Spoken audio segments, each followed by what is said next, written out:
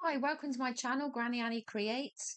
Today I'm going to show you how to draw your own crochet pattern. So if somebody asks you, oh wow, can you teach me how to crochet a granny square? And then they're like, oh, I'll never remember that when I get home. You can quickly draw them a granny square diagram and then explain it to them and they can take it away and remember how to do a granny square. It'll also help you be able to write your own patterns and um, yeah, help you remember how to do a granny square. So we need a couple of different coloured Sharpies or any felt tip and some paper. I've already marked on my paper the middle of my granny square and then I've split it up into segments and carried them on into the next. Because when you look at the construction of a granny square, the middle bit is a circle, then it turns into a cross, and then it turns into a square. So for the circle, for the starting thing of our granny square, we're going to chain six. So that is a chain stitch in a written pattern. So we need six of those. One, two, three, four, five, six. And then we're going to join the round with a slip stitch and that's how you depict a slip stitch in your crochet.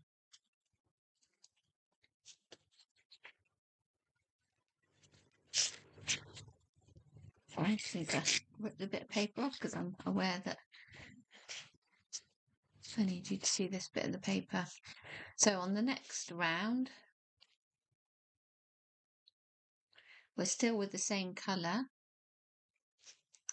and we're going to do a chain of three so mm-hmm. one, two, three, and then there's two double crochets to be worked in at the same space as those and the double crochet is depicted like that because that's how many times you wrap around your hook before you work into the chain spaces. So to create this corner that's actually now covered under the purple, it's a chain of three. So we're going to go one, two, three into the next area that's going to have some stitches. And this time we're going to have three doubles because we had two last time because the turning chain gave us the first stitch. So in each cluster all the way around. Now we're going to have three doubles. And like I say, the double crochet stitch is depicted like that. And that's how we go round the whole round now, putting three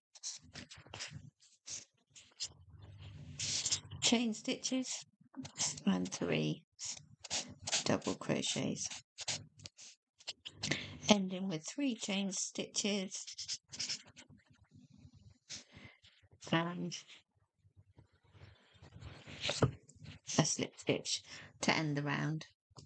And that will give you the middle part of your granny square. That's how it looks in a diagram form. Then we're going to change colour. And we're going to do the purple part of the granny square. So we're going to start here and we're going to give ourselves, no, sorry, here, we're going to give ourselves a turning chain of three, which gives us the height of the stitch. And we're going to create this corner in this chain space here of the previous round. And so for this corner, we've got our chain three. We're then going to have two doubles and then chain three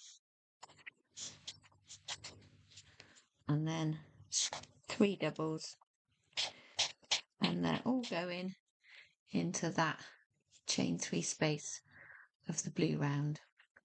Then we need to jump this next little cluster of three blue ones and that is done by one chain.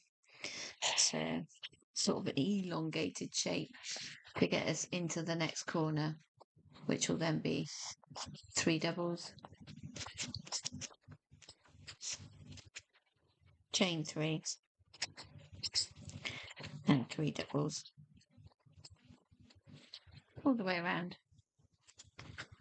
And that's how you do a diagram for yourself or your for your friends, just to remind yourself, um, you know, how to do a granny square. And you can always write little figures in, like this is one, two, three, four, five, six.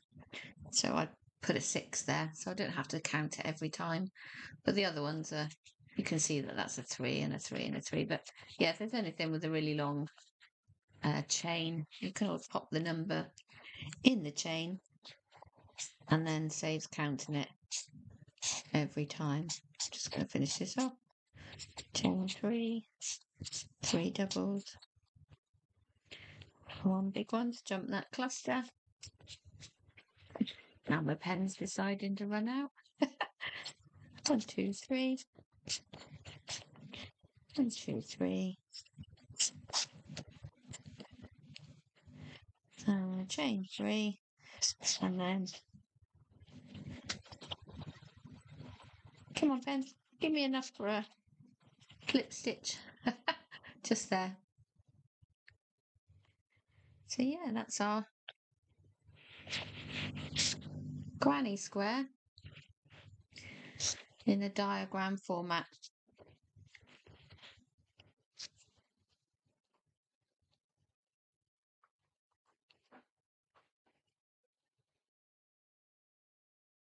Hi, if you're liking my content today, it'd be great if you could hit the like button, share and subscribe. This will help other people find my channel channel and I really appreciate it. And if you want to connect further with me and in my crochet world, click the comment section below and there'll be links to my free ebook on beginner crochet stitches, my patterns and other tons of other stuff to help you with your crochet, knitting and sewing. Thanks for watching.